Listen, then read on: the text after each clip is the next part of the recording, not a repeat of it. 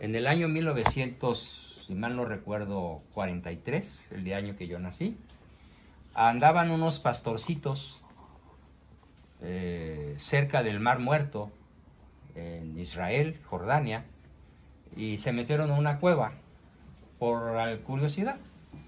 Y dentro de esa cueva encontraron unos manuscritos, unos papiros. Se llaman los rollos del Mar Muerto, porque estaban en rollos.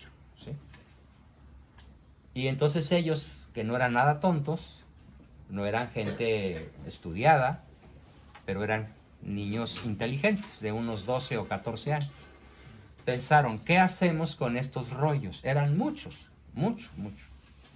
Y el mayorcito dijo, pues hay que llevarlos a la Universidad de Tel Aviv. Entonces los pastorcitos llevaron los rollos del Mar Muerto a la Universidad de Tel Aviv. ¿Hasta ahí me has entendido? Bien.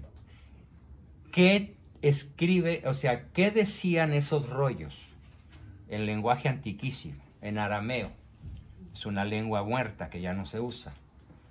¿Qué decían esos rollos? ¿Alguien sabe? Era una traducción de la Biblia uh, escrita casi originalmente. Bien. Los evangelios. Correcto. Los evangelios. Y lo más interesante es cuándo habían sido escritos. Ojo con eso.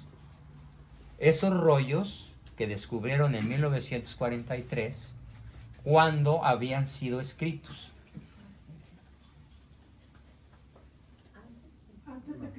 Antes de Cristo.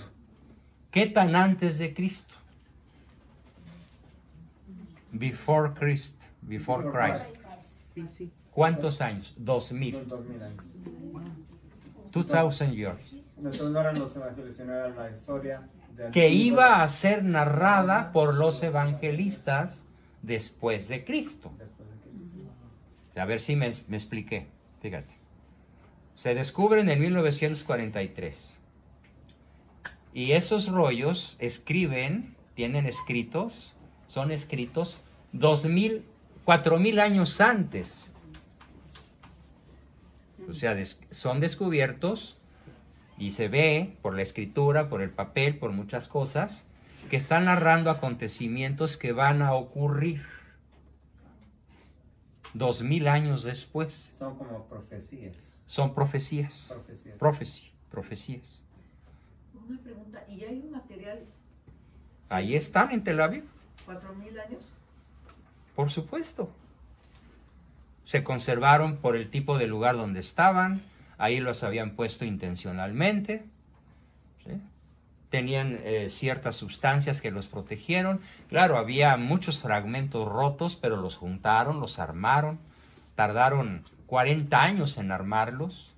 Y finalmente la Universidad de Tel Aviv, que no es católica, concluyó que antes de dos, que dos mil años antes de que Cristo muriera, viviera, etcétera, ya se había escrito lo que iba a suceder.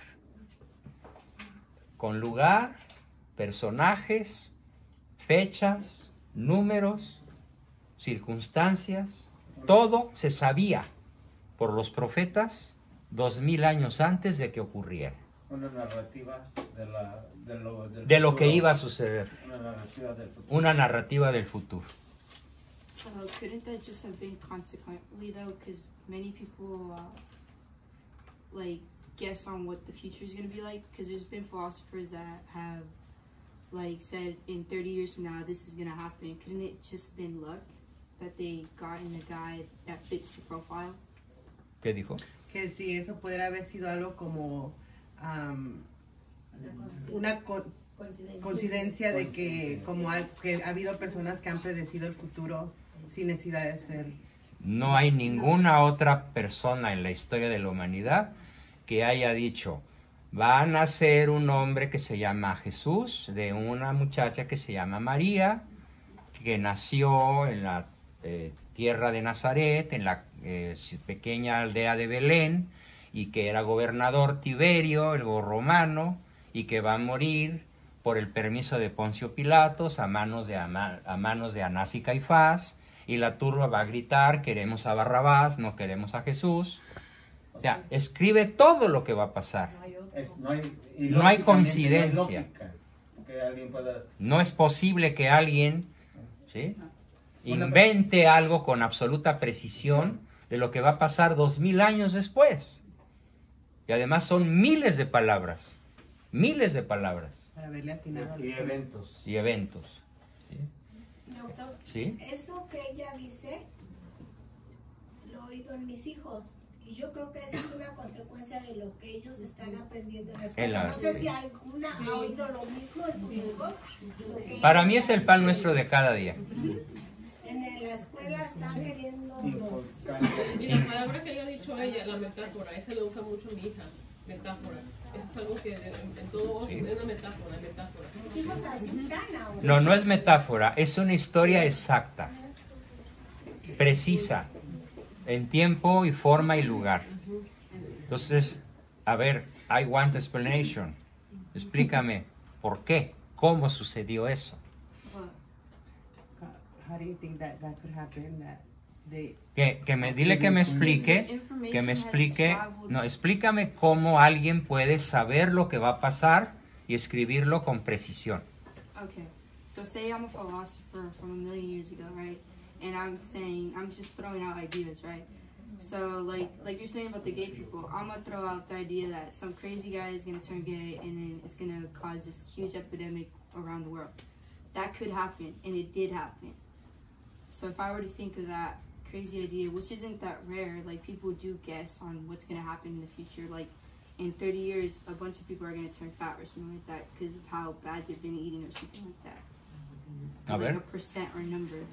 Eh, ella está con la idea de que, que si, por ejemplo, am, si hace 30 años alguien dijo, si siguen comiendo esa comida se van a engordar, como lo presidió y Sí, pero puede decir, yo puedo decir que si alguien sigue comiendo comida chatarra, ¿sí? se va a morir de cáncer dentro de 30 años.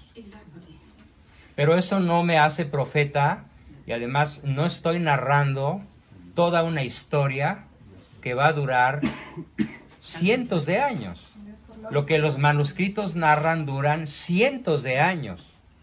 No es analogía. Es toda una vida de muchas personas. Es la vida de Jesús, que dura 30 años, 33 años vivo y haciendo cosas y diciendo cosas. ¿sí? Entonces, no hay ninguna posibilidad de que sea coincidencia. ella, Es profecía. ella pregunta también que si es posible vivir una vida buena y moral sin tener religión. No es posible. Es imposible.